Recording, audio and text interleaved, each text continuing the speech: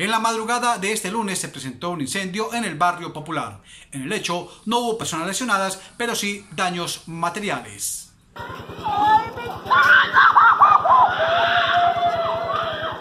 Sobre las 2 y 30 de la mañana de este lunes, esta vivienda ubicada en la carrera 15A entre calle 23 y 24 del barrio popular se quemó en su totalidad.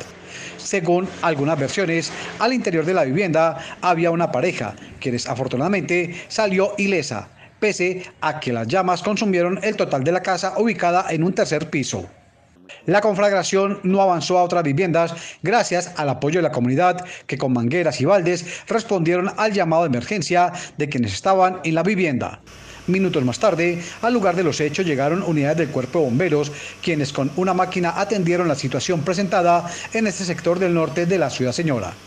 Versiones extraoficiales dan cuenta que la vivienda habría sido objeto de un atentado e igualmente se maneja la posibilidad de que se haya presentado un cortocircuito, pero serán las autoridades que definan los móviles de este hecho que dejó en cenizas todo lo que había en este apartamento.